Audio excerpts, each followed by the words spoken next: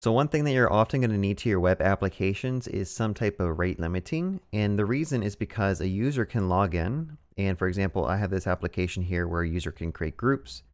You come over here and create a group, like testing and test. They can come back here and they can just keep creating groups over and over again. And if a malicious user decides that they want to just kind of mess up your entire system and flood it with data, if you don't have a rate limiter in place, it's going to be a very bad experience for your users because all they see is a bunch of bogus data showing up on their browse page.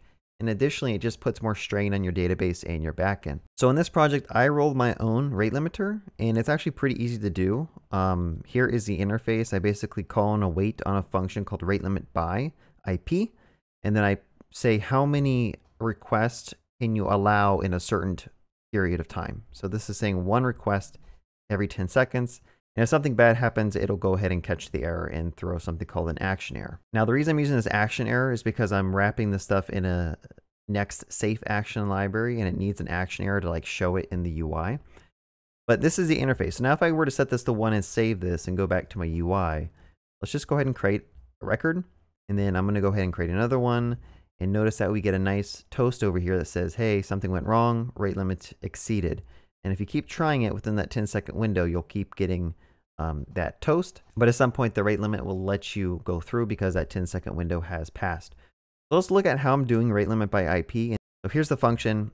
Um, this again, this is all in memory. So if you are deploying this on a VPS and you have one server, this works fine. But when you start scaling up your VPS and you have like, let's say two or three or four running behind a load balancer that's doing round robin routing, this is when you run into issues because your rate limiter is living on every VPS in isolation using the machine's memory. So every request will be round robin to a different VPS, and technically I can do four requests within that 10 second window if you're doing that. But my advice is again, just keep it simple. If you're just hosting on a single VPS, it's fine to do rate limiting inside of memory. And then if you need to scale up, you could just use Upstash or just use like a Redis cache and have that all live in a centralized place so that your limiting is actually working properly. Also, if you deployed like Vercel or a serverless environment, all bets are off on this approach because every Lambda has its own like memory basically. Anyway, I just got on a tangent. So let's kind of look at how this works. This is by IP. And so when someone calls this function inside of a server action, I call a get IP method, which is just looking at the headers that came in on the request. And I'm checking if X forwarded for is set or if X real IP is set. And then I basically use one of those if they're set, and if not, I just return null. And that is how you can kind of check, at least when I deploy this to Railway, that's how I can check if the IP is set. Depending on where you deploy, it might not work the same. You might have different headers that are set depending on your deploy service. If you're rolling your own deployment, I don't know, depends if you have like Nginx or Apache or caddy in front of your services, you might have a different header maybe. But anyway, you should get the IP address back. And I basically create a tracker object that has an initial count of zero and expires at zero. And when I make that request, it's going to go ahead and check, hey, is this already stored in this lookup map? Over here, it's just like a normal JavaScript object. I'm using it as a map and I'm tracking the IP and I'm inserting that new record. So after that, I check, hey, is the tracker, which we retrieved if it already exists, otherwise you created a new one. If it's expired, so it has that 10 second window passed, I go ahead and just reset it back to zero and expires at is set to the current date time now, plus that window size. And then I increment it, and then I check, hey, has that count exceeded my limits? And if it does, I just throw an error. So that's, it's pretty straightforward, right? This is very little effort. You can use ChatGPT to generate this. And what I'm also gonna do is I'm going to do the same approach and I'm going to say rate limit by key. And so instead of getting an IP here, I can just go ahead and say like key, which is going to be a string. And then instead of saying get IP, we're just going to go ahead and say key. Now hopefully the keys and the IPs don't overlap and we can just use that same tracking map. Okay, so this one should work fine. Um, and so if we wanted to go back over here, we actually change this to rate limit by key. And then we could pass in the user ID like this, user.id. And now instead of limiting by IP, which will have issues because again, in a DDoS, like people can have tons and tons of IPs they can kind of rotate through. But now I'm actually limiting by the authenticated user. If you have an authenticated user, you have more specific information you can rate limit by which is probably a better approach. All right, so let's verify this still works the same way. Um, so let's go here, create a group, create it, go back here, create it again, and we do get the toast the pop up. Awesome.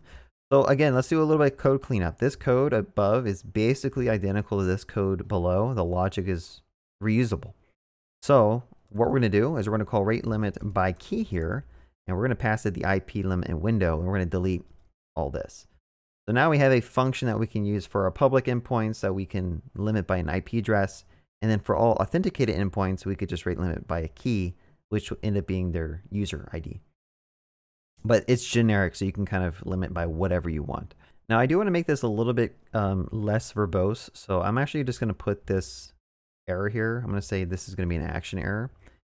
And that should still work like a normal error because I think this does extend error. But now I don't have to do all this catch stuff everywhere. Because that was kind of annoying. Rate limit by IP. Let's go over here and we'll do the same thing. So let's get rid of this. Get rid of that. Awesome. So let's just verify every time you change code, just go back and make sure you didn't break stuff. Over here. Awesome. So that is how I'm doing rate limiting. And again, there might be like a third party library to do this for you, but just keeping track of something like this in a JavaScript object for the most part will work okay. Um, there might be some caveats or some edge cases where this will keep growing over time and just become very, very large, like a giant JavaScript object. But honestly, like you'd have to be getting a lot of traffic and you'd have to not deploy your application in a very long time for this to grow to a point where it's like going to cause issues.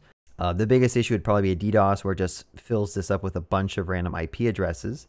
Um, but just keep that in mind. These are things you need to think about when you're building out a system. And then later on, if you decide that you need to fix something or scale up, you've abstracted everything away inside of a function. So now to refactor this, I could just come in here and change out this code to use Upstash or Redis or something like that. Now we could even take this a step further if you want. Inside of whatever middleware functions you have, you could potentially do some type of default rate limiting. So for all my authenticated actions, let's just say that I want to make sure that a user never abuses too many of my public mutations. So we can just again say rate limit by key. We'll say user.id. And then we'll say every time someone tries to create or run an action, you can do at least 10 times every 10 seconds. That seems like a generous amount, right? I mean, I couldn't see someone creating 10 entries in less than 10 seconds in my system. So this would basically be a, a catch-all, like a default, but um, we probably want to use a different key here. So we're going to go ahead and just do a user ID and then we're going to say global. Is like a global rate limiting. So that's the power of the abstraction.